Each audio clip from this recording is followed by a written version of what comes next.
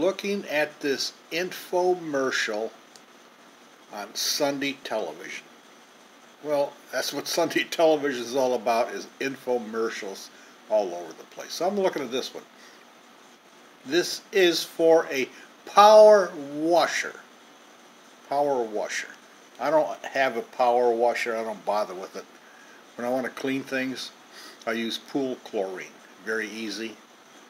And it doesn't leave streaks. Anyways, this guy here has got this power washer here.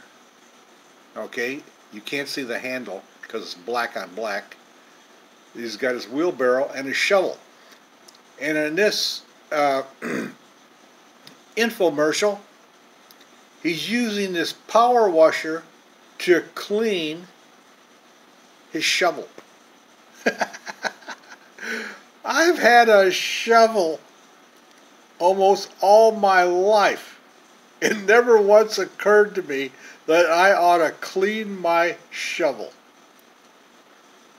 And somehow or another, my shovel gets cleaned off.